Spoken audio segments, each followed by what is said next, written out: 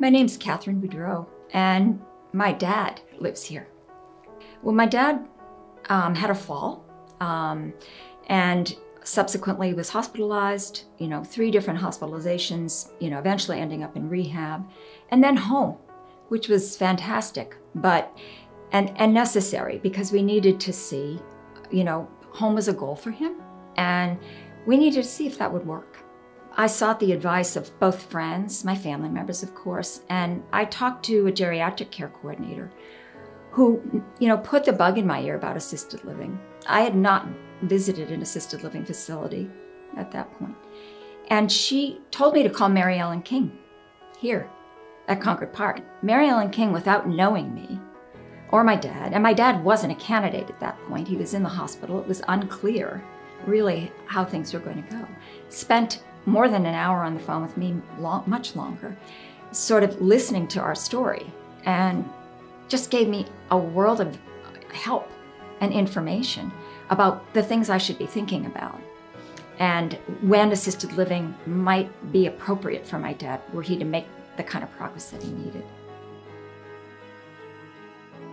In order for the family to be able to do some of the things that we needed to do and for Rosalie to receive the level of care that she needed and the level of companionship, you know, it was it was time to start looking at, at living communities. When we got here, they had on some great like music from like the World War II era and the, just in the in the lobby. And that um, she immediately tuned into that and she started to dance like in the lobby. And then the the woman who was going to be interviewing comes out and she starts to dance and they dance all the way down the hall to the interview. And by then like everybody was laughing and so comfortable that it went absolutely beautifully and they ended up saying you're exactly the kind of person we want here. So it was great but that's I think that's a testament to the, the staff here. And I mean, they just put everybody at ease. Almost every time I come in, there's somebody from the staff talking with her, whether it's an aide or it's Bonnie at the front desk or it's one of the guys who works in maintenance.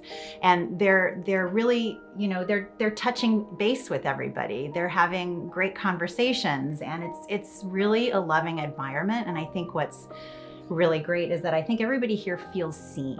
She doesn't sit still for very long. In fact, pretty much we have a huge family and everybody knows not to call during the day because she won't be in her room. So they have to call after 6 p.m. at night. she, she is so active here in the community that she's never in her room. If you, if you get bored, it's your own fault. In other words. uh, so my, my wife uh, developed Alzheimer's and I took care of her for at least six years. It was a total period of about eight years when I was basically by myself, uh, living in the house. The house was too big for me. So my daughters were the ones who found uh, Concord Park for me. Yeah, yeah. And, and it was really one of the best moves. It was, it was probably the best move I could have made. Yeah. And uh, so this is my home now.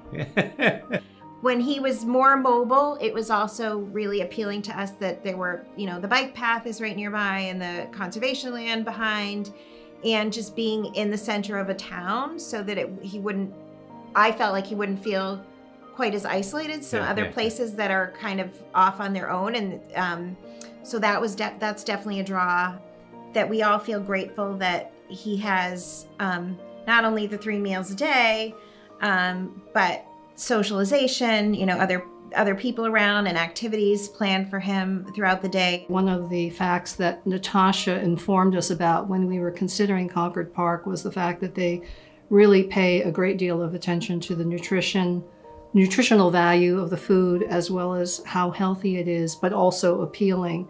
And I think um, getting um, my mother to eat healthy foods was not always easy. She had her favorites, but they're able to um, prepare it in a way that is so appealing to her that she enjoys it and doesn't really think about how healthy it is. We were doing a lot for her, and my biggest concern, frankly, was she wasn't eating enough.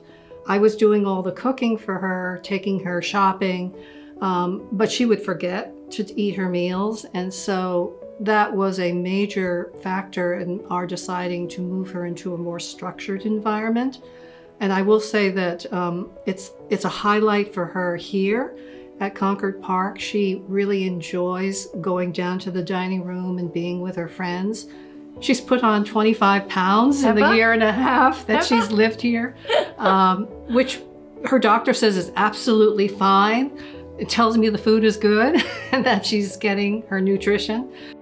Studies have shown that if you eat in company, it's much better for you, both psychologically as well as physically. Mm-hmm. And I think it certainly shows in the way mom has adapted to being in Concord Park.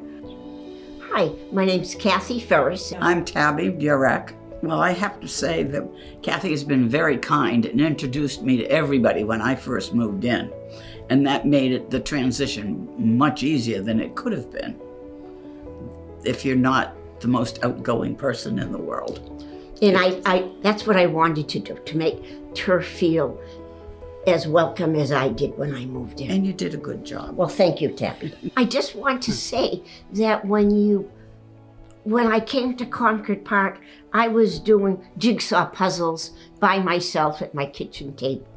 Now that I've in Concord Park, I'm in the living room doing jigsaw puzzles with ladies who are now my friends. And I will tell you, my moving here has made my children so happy because they tell me they see the difference in me that having friends, people to talk with and enjoy their company, it's made me be myself again.